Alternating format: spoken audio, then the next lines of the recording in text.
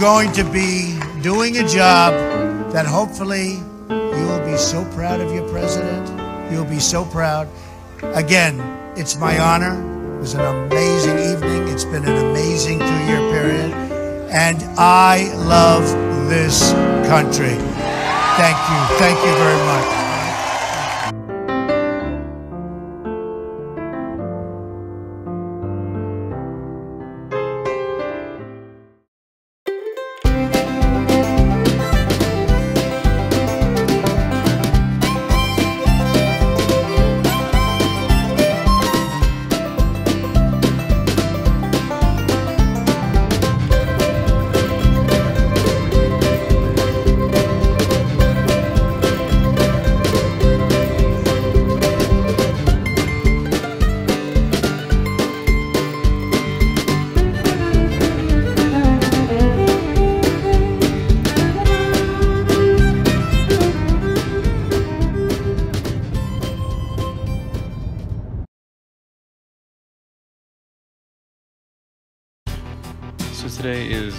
Saturday, November 19th, 2016, and I am in Henderson, Nevada, about 20 minutes outside Las Vegas. Yesterday, I left Los Angeles. Um, you know, it's a, it's a, an interesting time. It's I'm about to turn 30 years old in about a month and a half.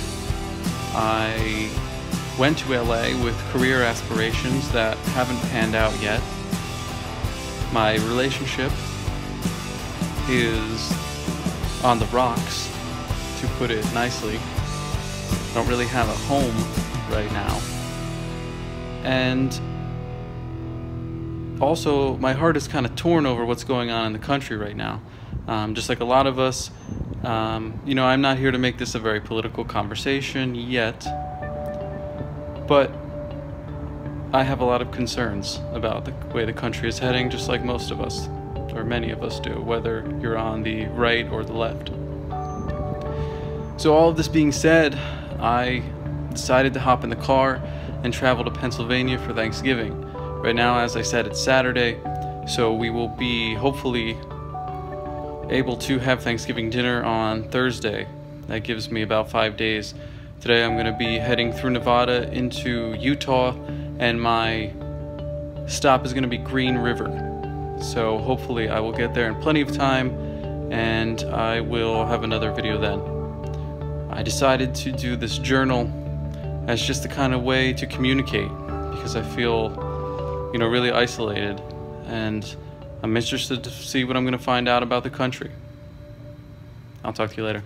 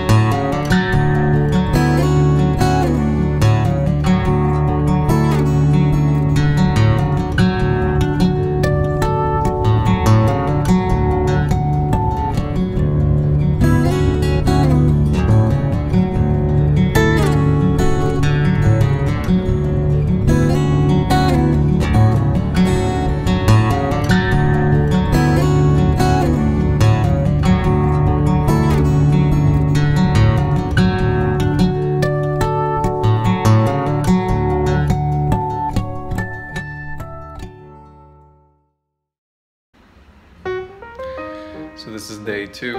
Um, yesterday, I made my way through Utah, the kind of northern part of Arizona, and southwestern Utah into the central area. Stopped in Green River. And I have to say, you know, growing up in the New York area and then living in Los Angeles, we we take for granted that we have a mastery or domination of nature. But to drive through the huge canyons of northern Arizona and Utah and to feel so minuscule is both terrifying and at the same time exhilarating. I mean, you're driving on these long stretches of Interstate 70, and it just feels like, other than a few passing cars around you, there's just nothingness. Just nature, occasionally maybe a bird. But the rocks are mountainous and come in several shades. Of course, that just reflects the changes of geological time and former conditions in those areas, but when you look out, all you see is this blend of reds and pinks and occasional greens that pop up. And I have to say, it's overwhelming and really makes you understand the trepidation, but also excitement of what those who first came to this area of the United States must have felt. Well, alright, today it's uh, on to Kansas. I'm gonna try to drive all the way through Colorado, about eight hours. So hopefully we'll see you on the other side of that. Música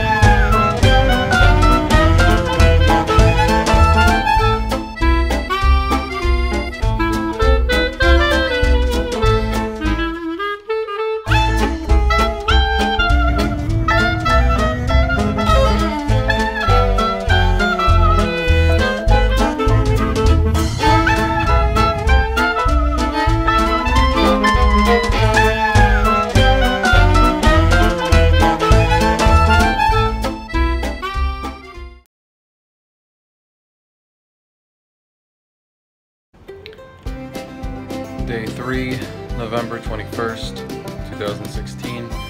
I'm in Colby, Kansas. And, uh, you know, yesterday was a really interesting experience. Colorado's like two different worlds, right? So you go over the mountains, and um, obviously that's very breathtaking visually. And then once you get past them into kind of the Denver area, from there to the Kansas border, it's just completely flat. And then into Kansas, of course, with the plains. And it was incredibly lonely. You know, it's just like visually, it, it's amazing how much the visual influences your perception because you're just going and going and going, and all you see is just the farmland and flatness, and it's just this great separation between the sky and the land. And yes, it's beautiful, but it's almost as if the world goes on forever, and you feel so minuscule in a different way than you do with the mountains and rock formations in Colorado and Utah. It's almost as if you're driving to the edge of the world. And I can kind of understand that feeling now as communicated through Jack Kerouac novels and uh, by the other beats. You know, I always loved them because of the, the sense of adventure and travel, but I never really understood the loneliness until now. Um, just driving alone and kind of in a world where you could die and who would really know? And you see traces of that when you look off to the side of the road and in the grass you see tire tracks or dead carcasses of animals. And it makes you realize that death is not too far away off. Well, on that note, see you tomorrow from Missouri.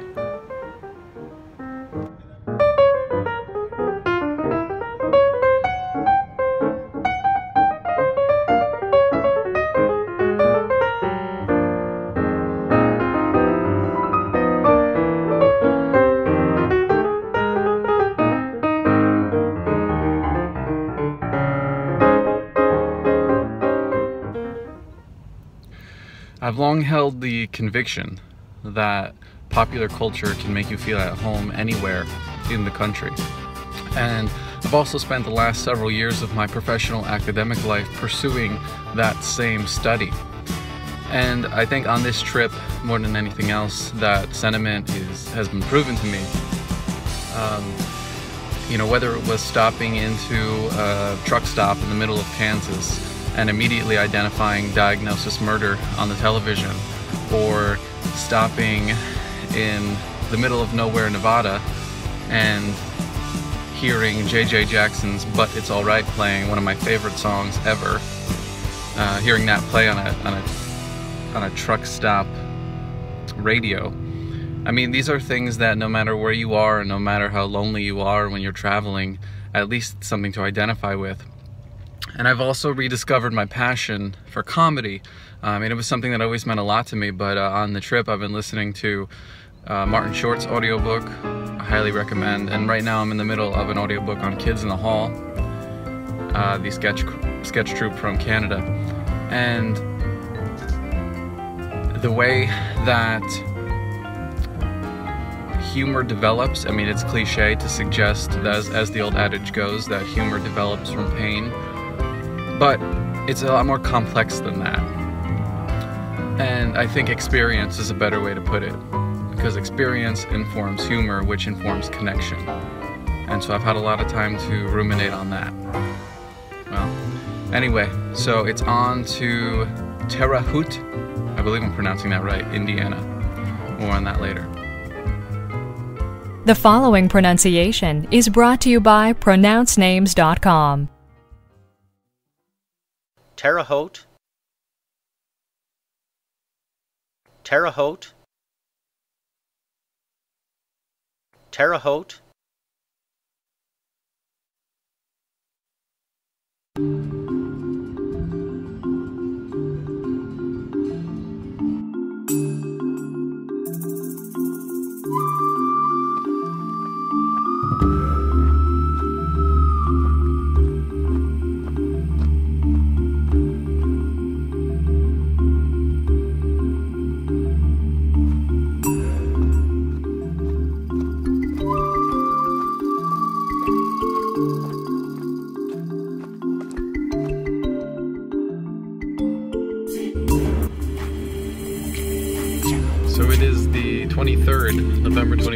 Already. Wow, time flies. Um, you know, earlier I mentioned about how distraught I was over the election two weeks, about two weeks ago now. And, uh, you know, growing up on the East Coast and living on the West Coast, you kind of get spoiled into thinking very blue, right, in the sense of politics. And the question that I always heard people saying was, who, who are the ones that are voting for Donald Trump? Who are these people? And granted, it's not all people in the, the middle of the country. There are a lot of people on the coasts that voted for him and vote for Republican generally. Um, but I think, you know, as, as we see all these protests developing, I was really curious too, you know, who were the people that voted for him? And on this trip, I've had a great opportunity to meet these people and the wonderful opportunity to talk to them and and you know driving down Route 70 or I should say across Route 70 seeing hay bales with Trump's name carved into them or farmland with these huge signs that say Trump Pence. And I think it's really important that we don't identify all the people who voted for him in a negative way because they're good people and I'm really happy I had a chance to meet them and talk to them about their beliefs and understand where they're coming from.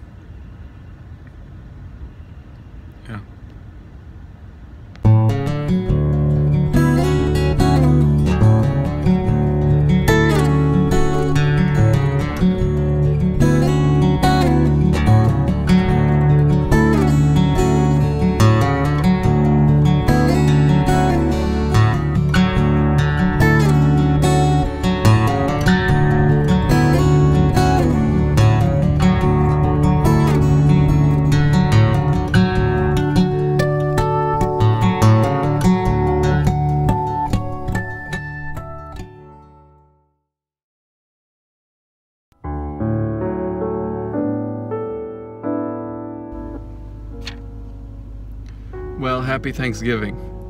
I made it about five minutes away from my destination. I'm here in Claysburg, Pennsylvania, the wonderful Claysburg. And, uh, you know, it's been quite the trip. It's, uh, let's see, 11 states in six days. So from California through Nevada, Utah, Colorado, Kansas, Missouri, Illinois, Indiana, Ohio, West Virginia, and now, of course, in Pennsylvania. And what next, right? Gonna do the whole holiday thing, go back to New Jersey after that for Christmas. And then where does life go? Do I go back to Los Angeles and kind of just start over on my own? Or do I stay more on the East Coast and start over there? Not really sure, but you know, if life's taught me anything on this trip, it's that I can make it. I can rely on myself more than I thought I could. Uh, and that might seem kind of strange because really all you're doing, right, is zooming through the country by yourself with these intermittent periods of communication. But, you know, the immense smallness of life, to quote Ray Davies of the Kinks, that you feel when you're out there as I said in a previous video, it really gives you a lot of perspective. And not only do I have more of an appreciation for the country um, now, but I feel like everything's going to be all right. We'll see. Happy Thanksgiving.